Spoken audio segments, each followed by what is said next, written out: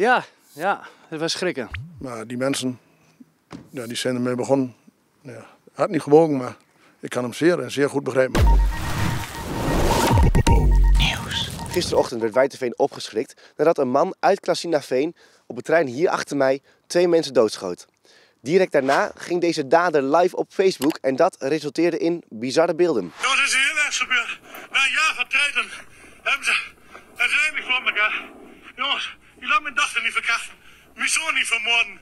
Mijn, mijn moeder niet vermoorden. Mijn, vrouw niet verkrachten. Ja, er zijn twee mensen, zoals het nu lijkt, doodgeschoten bij een woning. En daar heeft een uh, lang slepend conflict is daaraan vooraf gegaan.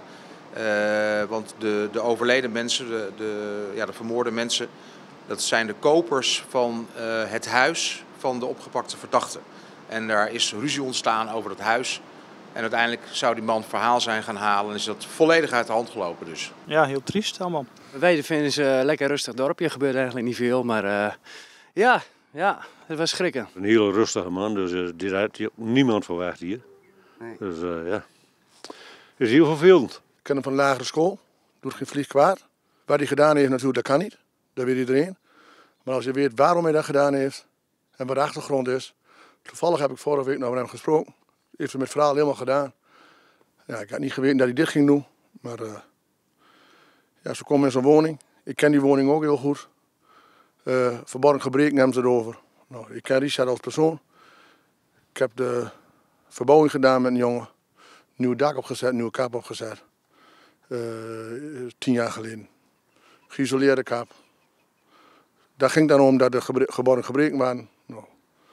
Die zijn er niet. Ze zijn er zo vaak met rechts. Ze hebben alles altijd vernieuwd bij ons. We hebben niks terug, helemaal niks. Politie kan niets doen.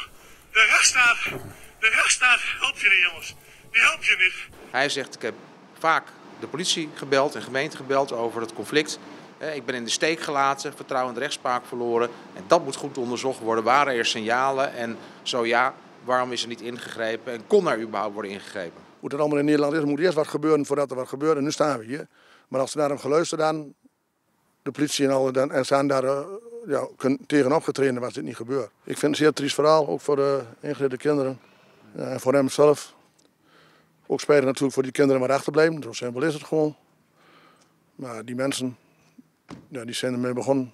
Ja, had niet gewogen, maar ik kan hem zeer en zeer goed begrijpen. Maar goed, ik ben niet de enige. Op social media lijkt het ook alsof heel veel mensen het voor hem opnemen, alsof het haast een slachtoffer is. Wil dat op zijn kop? Nou, ik vind dat wel raar. Want ik denk dat dat, dat dat komt door het effect van het filmpje. En de vraag is, uh, is dat filmpje is daar van tevoren over nagedacht?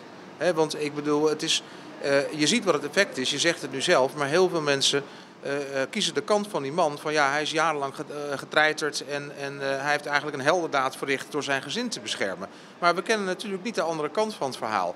En het kan best zo zijn, maar hoe dan ook heeft deze man tenminste daar wordt hij van verdacht, twee mensen gewoon doodgeschoten. Dus dat, dat is wel een heel ernstig delict. Je kan niet zomaar na een conflict mensen overhoop knallen. Als dit geweten had, of, of iedereen die dat geweten had dat hij dit ging doen, dan, dan was er ook niet gebeurd. Maar goed, er is wat gebeurd en dat weet ik ook niet. Dat kan Richard ons vertellen. En ik denk dat Richard dat wel vertelt op den duur een keer en hoe de reden is. En dat, dat, dat TCT zal dat uh, uitwijzen. Wil jij nou niets meer missen van onze content? Nou, dan kan dat. Abonneer, volg ons op TikTok en Instagram voor meer.